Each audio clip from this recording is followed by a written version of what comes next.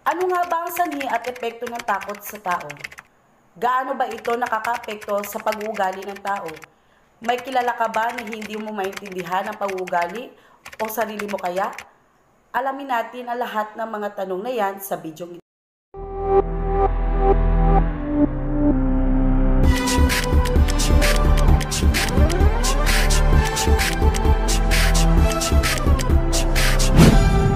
Maligayang panonood po sa EBM. Ito po si Charmin Osma. Maraming salamat po sa panonood. Kung ito po ang iyong unang pagkakataong manood, ito'y aking kinagagalak.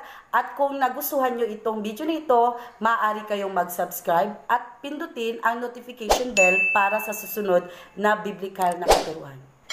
Sa araw na ito, nais ko pong ibahagi sa inyo ang isa sa pinakaimportanteng bagay na pwede makatulong sa iyo upang mas lumawak ang iyong pangunawa at pag-intindi sa iyong sarili at sa iyong kapwa. Ano nga ba ang sanhi at epekto ng takot?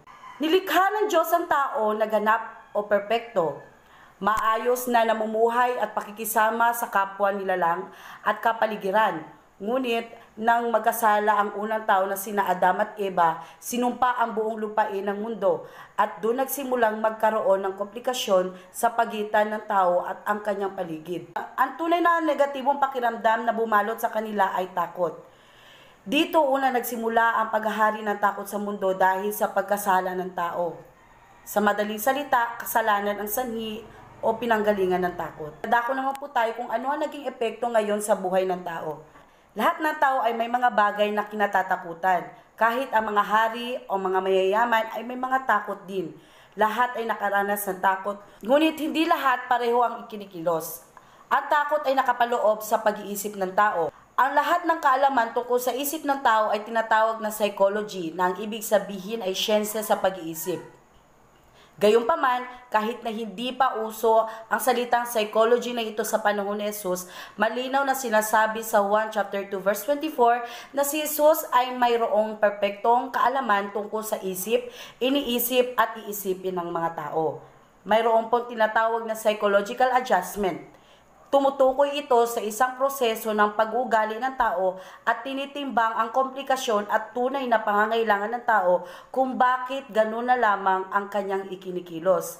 Ang limang psychological adjustment ay nahati sa dalawa. Ito pa ang aggressive na ang ibig sabihin ay mapusok o mabagsik nagpapakita ng tapang sa isang bagay na alam niyang kaya niyang talunin. Halimbawa, takot sa ipis at ayaw niyang madapuan nito. Pero kapag inatake siya nito, nagagalaiti at gusto itong patayin.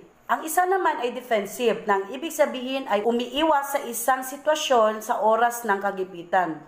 Pinoprotektahan niya ang sarili laban sa mas malakas kaysa sa kanya. Halimbawa, ang reaksyon niya kapag inatake siya ng mabamis na leon.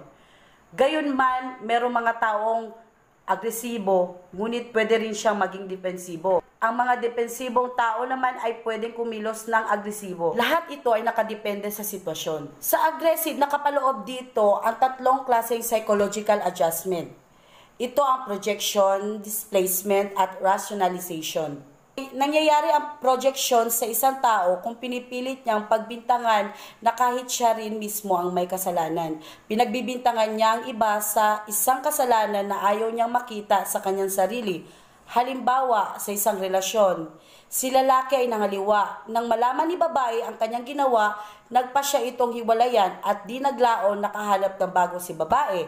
At na mabalitaan ni lalaki, pinalabas niyang masama si babae at pinaratangan niyang kung ano-ano dahil siya ay pinagtaksilan at pinagpalit ni hindi man lang niya inisip kung ano ang tunay na ugat kung bakit naghiwalay silang dalawa.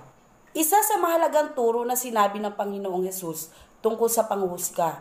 Bakit mo pinapansin ang puwing ng ibang, ngunit hindi mo tinitignan ang dumi ng iyong mata?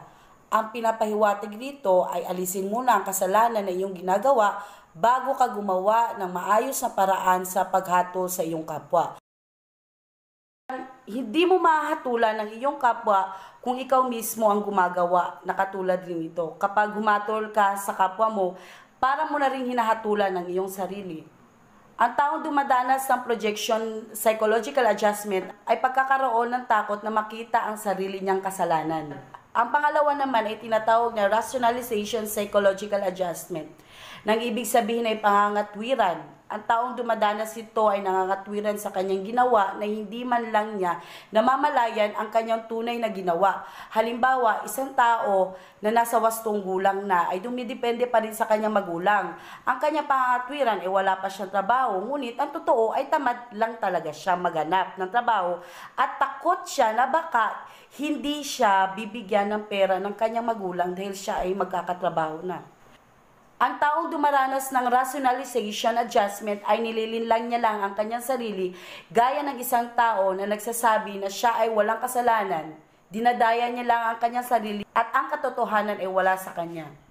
Ang pangatlong aggressive adjustment ay tinatawag na displacement.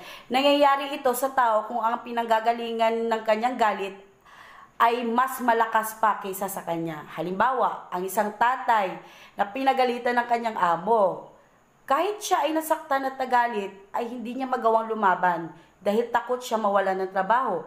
Kaya sa pag-uwi niya, daladala niya ang sama ng loob at napabuntungan niya ng galit ang kanyang asawa.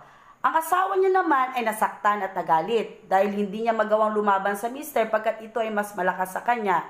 Kung kaya't pinagbuntungan niya ng galit ang kanyang anak. At ito naman si anak dahil ito ay mahina, hindi niya magawang sumagot dahil anak lang siya. Kaya ang pinagbuntungan niya ng galit ang aso na mas mahina sa kanya. Importanteng paalala na ang taong may displacement psychological adjustment ay di niya ito namamalayan. Ang tanging pag-aakala niya ay siya ay tama. Kung inyong mapapansin, ang displacement ay umiikot sa loob ng pamilya. Parang domino effect na nagsimula ang galit sa ama na mismong sumira sa kapayapaan ng pamilya. Isa sa halimbawa dito ay si Eliab, na kapatid ni David.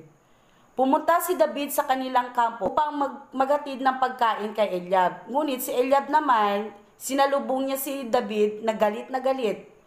Ang kanyang pagkagalit ay katotohanan na walang makakatalo kay Gulayat pagkat ito ay malakas. Si David sa kanyang murang edad, itinurin niyang mahina kaya't pinagbuntungan niya ito ng galit.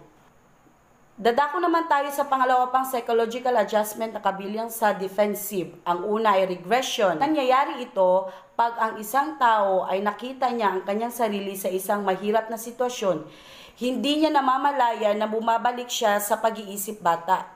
Halimbawa po nito ay nagpapanggap na may sakit gumagawa ng walang kabuluhang bagay, nagtatapon ng mga gamit pagalit, nagpapanggap na galit o nagtatampo, hindi kumikibo sa taong nagpainis sa kanya, umiiyak pag nahihirapan, sumisigaw. Isa si Ahab na naging hari sa Israel, gusto niyang makuha ang vineyard ng kanyang kapitbahay, ngunit ayaw pumayag na ibenta ito sa kanya. Kaya si Ahab Umasal siya na parang bata. Sinabi niya na hindi niya ibibigay sa kanya ang mana ng kanyang tatay. Katulad ni Jeremiah, nang tinawag siya ng Diyos upang mangaral ito, kanyang itinanggi dahil siya ay masyadong bata. Ngunit ang totoo ay takot siyang humarap sa tao at magsalita. May mga Krisyano rin na nagkakaroon ng regression sa simbahan upang maiwasan ang mga responsibilidad na maaari sana makatulong sa kanila upang lumago, ngunit nananatiling bata o laging nakaranas ng regression psychological adjustment.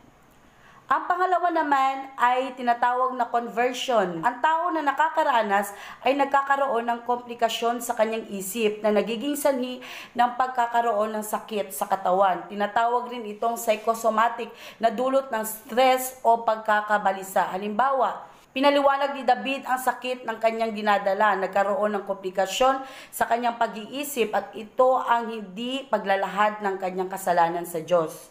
Kung kaya't ang kanyang katawan ay napagod sa kakaiyak. Sa madaling salita, si David ay nagkaroon ng sakit. Ang sakit ay kadalasan sanhi ng takot na nakatatak sa pag-iisip at siyang kumukontrol sa kung ano ang mangyayari sa katawan. Yan po ang limang psychological adjustment na nangyayari sa tao kung kaya't nagkakaroon po ng diferensya sa pag-uugali nito dahil epekto ito ng takot. Kung ano man ang kinatatayuan mo ngayon, ikaw ba ay takot mawalan, takot mabigo, takot masaktan, takot sa kinabukasan, hindi po ito makakatulong sa iyong paglago at lalo tigit hindi po ito makakatulong sa iyong problema. Ang daming babala at pangako ang mababasa natin sa Biblia tungkol sa takot. Alam mismo ng kaaway kung paano niya hihilain pababa ang mga tao, kung kaya't ito ang ginagamit niya upang hindi lumago ang espiritual na buhay ng isang Krisyano. Dapat po nating malaman at itatak sa puso't isipan na hanggat may Jesus kang pinangahawakan, wala kang dapat ikatakot. Sapagkat hindi tayo binigyan ng Diyos ng espiritu ng katakutan, kundi kapangyarihan, pag-ibig at kapayapaan sa pag-iisip. Ngayon ay nalaman mo na ang dahilan sa likod ng pag-uugali ng tao, maaari mo ring suriin ang iyong sarili kung saan ka dito sa limang psychological adjustment upang nang sa ganon ay maintindihan mo na rin at malaman kung ano nga ang tunay na ugat na dapat putulin. Maraming salamat sa panonood. Kung sa tingin mo ay nakatulong itong video na ito sa iyo, huwag mo kalimutan i-share ito sa iyong mga kaibigan nang sa ganun ay may matuklasan rin sila. At kung mayroong ka mga katanungan at suwesyo, huwag ka mahiyang mag-iwan ng komento. Hanggang dito na lamang po mga kapatid. God bless you all. Shalom!